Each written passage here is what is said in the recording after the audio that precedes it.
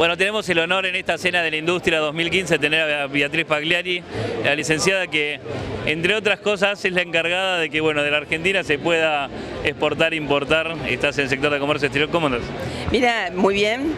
Eh, hace muchos años que estoy trabajando en el gobierno nacional y mm, a cargo del comercio exterior estuve en la Secretaría, lo que era la Secretaría de Comercio Exterior, pero ahora soy directora general adjunta de la aduana. Y la verdad que es, fantástico cómo poder unir los organismos y poder trabajar en conjunto para facilitar justamente la gestión del comercio exterior y hacerla competitiva. Eso es un lugar, Beatriz, donde uno tiene realmente un gran conocimiento de la industria, del comercio, de, es el mejor termómetro que uno tiene de, lo que está pasando, ¿no? Sí, eh, en realidad el termómetro uno lo tiene con los empresarios y, y viendo cómo están activas sus empresas. Y ayer en el parque industrial la verdad que fue fantástico, primero que yo no había visto nunca de la piedra de la montaña convertida en un producto con tanto valor agregado. Así que fue fantástico eh, lo que vi, pero eh, la fábrica de motores y, y, bueno, de motores, de reparación y de... De bloc. de- exacto. Este, la verdad Es, es- es realmente un ejemplo en, en América. ¿eh? La- un la- ejemplo fantástico y que ahora eh, piensa trabajar este, en todo lo que se está desarrollando el gobierno nacional con, con los trenes. Eh, la verdad que lo que vi ayer son planes de inversión, de ampliación. Eh, quiere decir que realmente estamos en la buena senda. Y la fiesta, lo que está, mm, lo que percibís es un, un grupo empresario activo y con, con pertenencia, es decir, tienen... eh, Y la gente la, la- la ves al empresariado con ganas de exportar, de importar, eh, de, de- de dar ese salto a lo, a lo que es el comercio exterior. Sabemos que eh, has venido invitada por, por Alberto Nievas, que es uno de los precursores en cuanto a la exportación, en su momento a Venezuela y demás, ¿no? Bueno, lo que pasa es que yo lo conozco a Alberto Nievas como a todo el grupo empresario de la maquinaria agrícola de la provincia de Buenos Aires, cuando tuve a cargo en el 2004 y 2005 el comercio exterior de la provincia.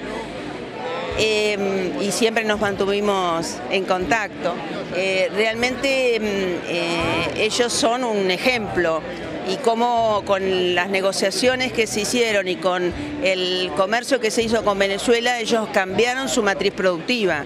Cambiaron la matriz productiva de toda la provincia de Buenos Aires en términos de maquinaria agrícola y es uno de los pilares de la oferta exportable argentina el método de siembra, eh, es decir, junto al INTA, como los empresarios de la maquinaria agrícola participan en, todas las rondas internacionales y son un modelo a, repetir, por supuesto con las características de suelo de cada país.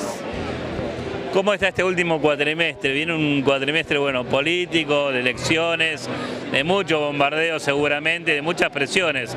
Pero ¿cómo se mantienen ustedes en, en cada uno en sus puestos, trabajando? Eh, ¿Cómo, cómo está la, la- No, la verdad que muy bien, pero ayer la sensación que tuve cuando salí del parque industrial que hay que salir de la mala onda de la capital federal, porque eh, Olavarría está contenta. Te vas con energía. de pie, Está de pie, me voy con energías, la verdad que eh, fue fantástico venir y trabajar en conjunto. El comercio exterior tiene una baja de los precios internacionales de la oferta exportable argentina y, en general, en particular de la Argentina, pero para todo el mundo. eh, que es sin ninguna duda muy significativa y tenemos que trabajar en ese sentido, en ser muy competitivos y saber que tenemos, como están haciendo en Olavarría, seguir invirtiendo y siguiendo, a seguir apostando.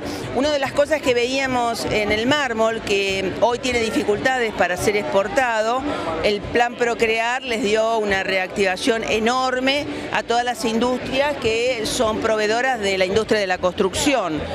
Importante. Ah, sí, sí, la verdad que fue eso fue fantástico. Y recordamos hoy fuera de cámara cuando habíamos ido a Brasil, que tuve la posibilidad de, de cubrirlos, que realmente fue un viaje espectacular, creo que inolvidable, por lo menos para mí, para muchísimos empresarios que fueron, porque ahí se peleó realmente mano a mano, uno veía como lo difícil que son los brasileños, ¿no? Los difíciles que son los brasileros, pero bueno, fuimos con muchos empresarios, eh, éramos una caravana que llegó a San Pablo, eh, tuvimos el apoyo de, de la Federación de Empresarios de San Pablo y hicimos un trabajo espectacular que nos permitió realmente después trabajar con el gobierno de Brasil este, con la razonabilidad que teníamos que trabajar.